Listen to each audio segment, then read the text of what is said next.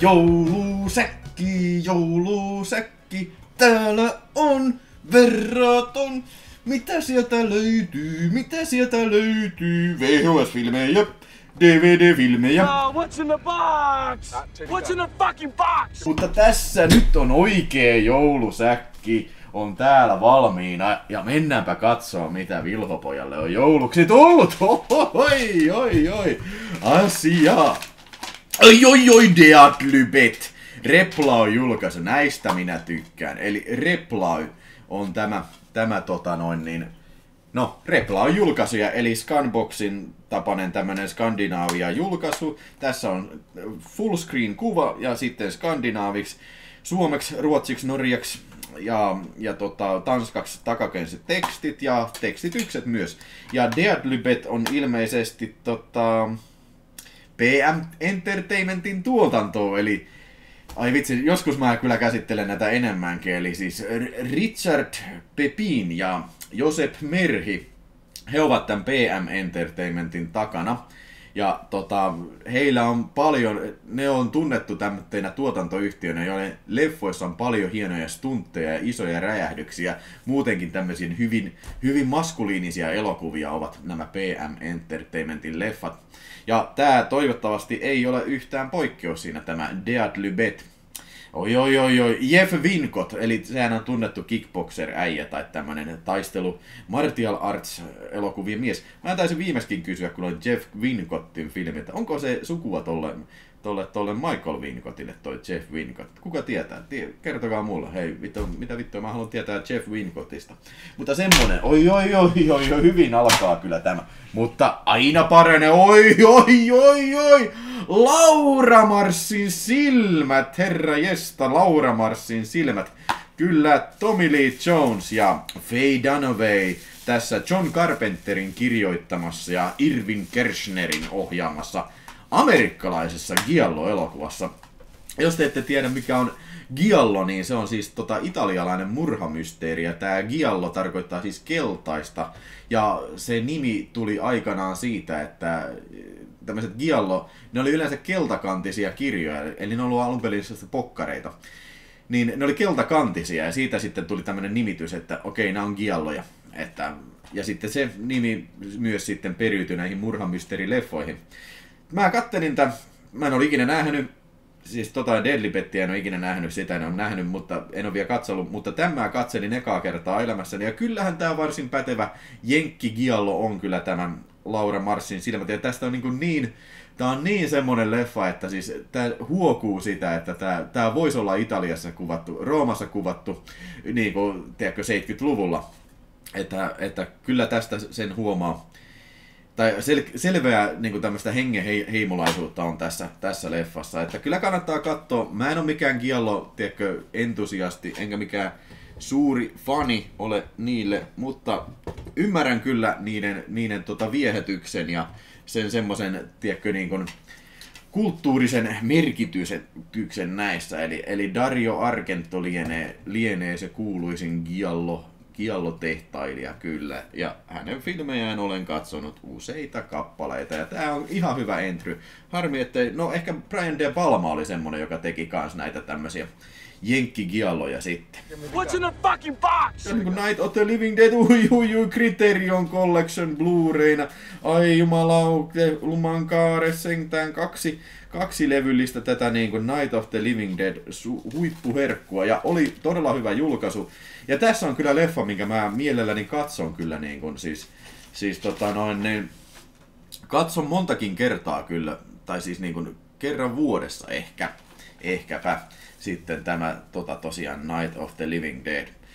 Se on vaan klassikko. Se ei esittelyä kaipaa, että siis niin kuin modernin kauhun klassikko. Tässä oli paljon hyviä ekstroja.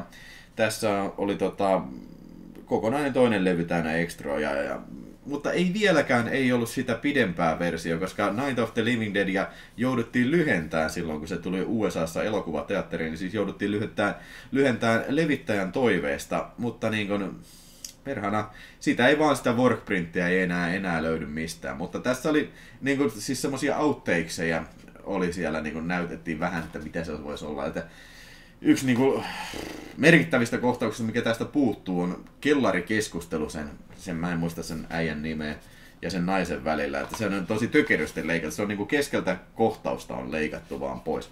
Mutta ei se varmaan kauhean oleellista ole. Onhan se hieno leffa. Hieno klassikko kyllä, yhtä lailla. Night of the Living. Ja upea julkaisu, suosittelen kyllä. Criterion Collection. A, B-alueen, tämä UK-levy on B-alueen levyä, kuten huomasitte, niin varsin vakuuttava paketti. Oi, oi, oi, oi, oi, mikäs, mikäs, mikäs, no niin! Aikuisten viihdespaketti, Woman Oil. Aito suomalainen öljyseikki, jolla on haaremi omasta takaa. No niin, nyt kuulostaa kyllä erittäin hyvältä.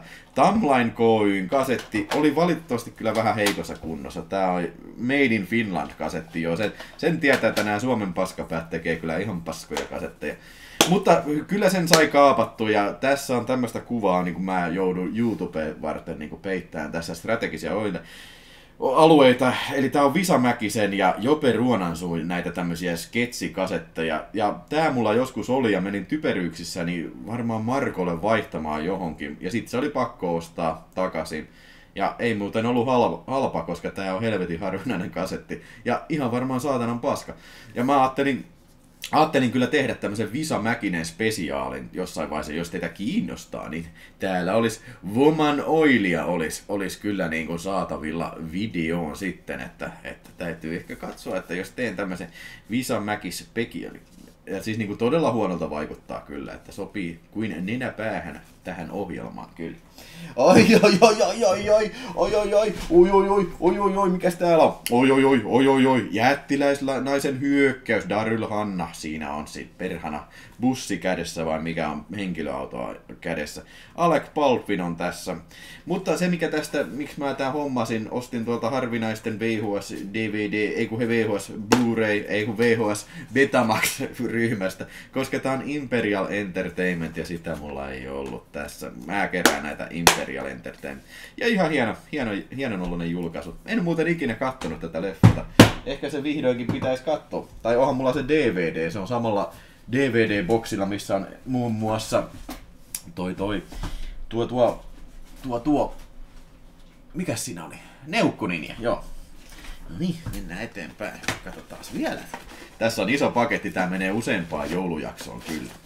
Oi, oi, oi, oi, oi, oi, oi, oi, kuolema kyydissä, oi, perkele, sokeli, oi, oi, oi, tää oli supersäkki.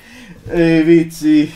Supersäkki, siellä on kyllä toistakin matskua, mutta tämä oikea supersäkki pitää varmaan jättää sitten niin kuin seuraavaan kertaan, koska tämä oli tämä DVDden supersäkki oli tässä, tässä tota noin, niin, jaksossa. Eli tässä on kuolema kyydissä.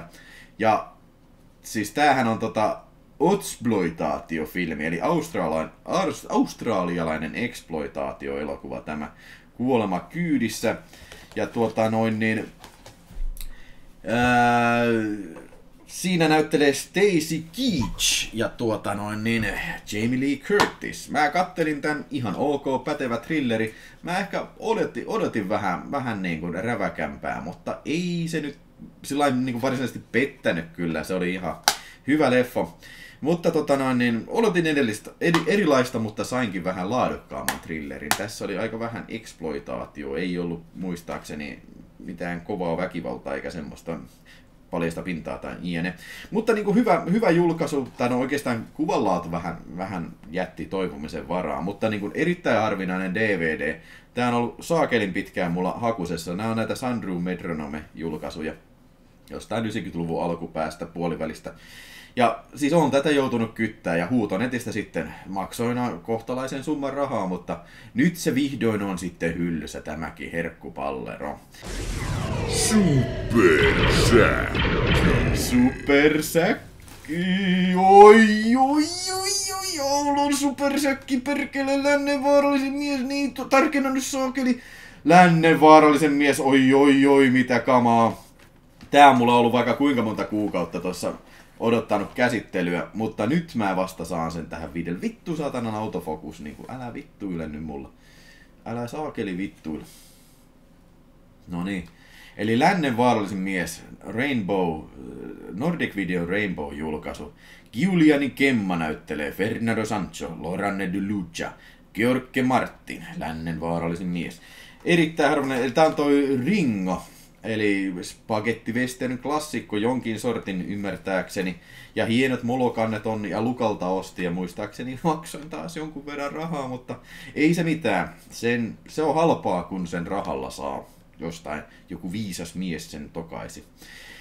Joo, en ole kattonut tätä leffaa, en ole mikään spagetti western fani erityisemmin, mutta sen mä tiedän, että tämä on ainoa julkaisu Suomessa suomenkielisellä tekstillä, että tätä ei mun mielestä olisi uudessa, uudestaan julkaisuissa tätä filmiä, että harvinainen leffa. Ja nämä siis Nordicin Rainbow on, on sillain niin kuin kansainvälisesti haluttua kamaa, koska niissä on niissä on tota toi suomenkielinen, eh, suomenkielinen teksti kyllä, joo, mutta siis englanninkielinen puhe.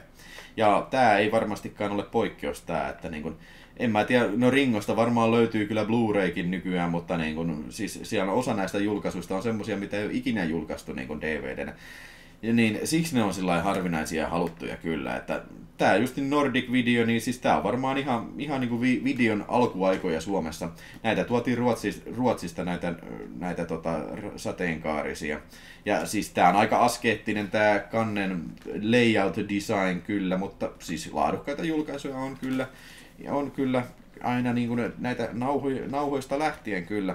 Ehkä niin kuin vuosi on ollut 80 tai 81, kun näitä on tuotu, että mistä niitä tietää. Ehkä 82, mutta niin kuin joka tapauksessa nämä, tämä on haluttua kamaa kyllä nämä Nordicin Rainbowt kyllä, että, että, että näitä, näitä kun saisi äh, aika hyvin, mulla on varmaan puolet näistä, mutta vielä puuttuu aika monta, aika monta. Jes, sellainen joulula, ei joulu, joululakki, vaan joulusäkki oli tässä tällä kertaa. Ja mä unohdin, unohdin saakeli pistää tonttulakin päähän, mutta mä pistän sen seuraavaan joulusäkkiin, joka on siis ensi keskiviikkona. Ja tota noin niin, hetkinen, joo, on, eiköhän se ole. Joo, ei vittu, mä höpötän, höpötän hyvin suunniteltu nämä videot. Mutta tosiaan muistakaa lauantaina myös sitten taas vähän, vähän sitten videosäkkiä tulee taas lisää, kyllä. Kiitoksia, että jaksoitte katsoa. Tämä on ollut hieno säkki kyllä ja nyt mä menen nautiskelemaan vähän näistä videoista. Get